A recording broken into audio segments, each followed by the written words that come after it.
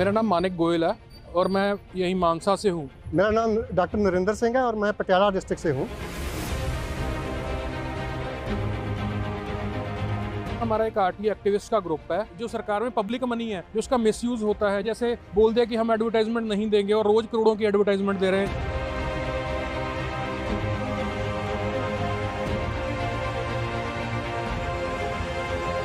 मोहल्ला क्लिनिक के बारे में बताया था आम आदमी पार्टी ने कि हम बनाएँगे और उन्होंने क्या किया कि पुराने जो बने हुए थे सेंटर, उनको, उन पर बीस बीस लाख रुपये ओवर स्पेंडिंग करके कह दिया कि ये हमारे मोहल्ला क्लिनिक है। ऐसे बड़े बड़े जो इनके घपले हैं, उसको हम एक्सपोज करते हैं, जो भी गवर्नमेंट के जो होते हैं।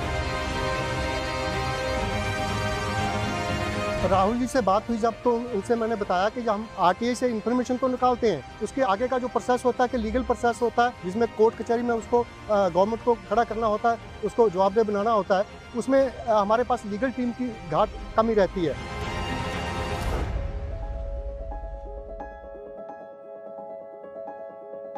लीगल टीम है?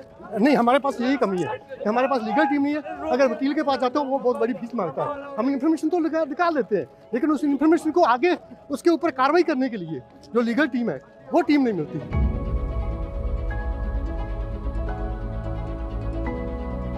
दूसरा हमने बोला कि इसको आरटी जैसे जितने भी टूल हैं ट्रांसपेरेंसी के और अकाउंटेबिलिटी के, इसको आ- आप पार्टी के स्ट्रक्चर में फिट करो। पार्टी के ऑल इंडिया लेवल पर नेशनल लेवल पर स्टेट लेवल पर आपका आरटीआई का सेल होना चाहिए।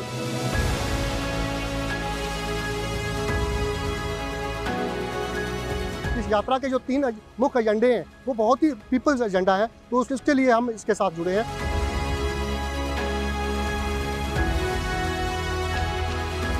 ये तीनों मुद्दे जो हैं, जो नफरत की बात है, जो जो ना- बराबरी की है और जो तानाशाही की बात है, इस तीनों को भराना बहुत ज़रूरी है आज, नहीं तो डेमोक्रेसी खतरे में है हमारी, देश की।